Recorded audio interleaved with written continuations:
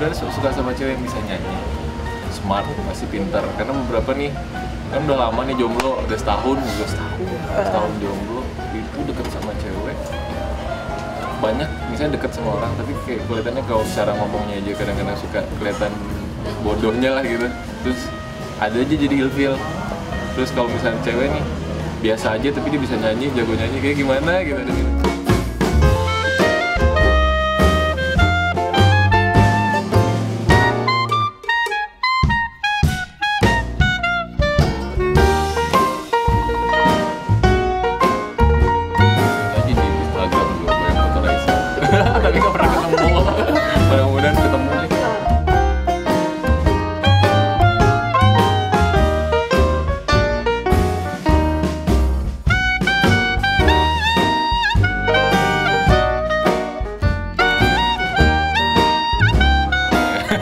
mau cium kali ya Lens selfie, wow. gue peluk kali lu Kenapa?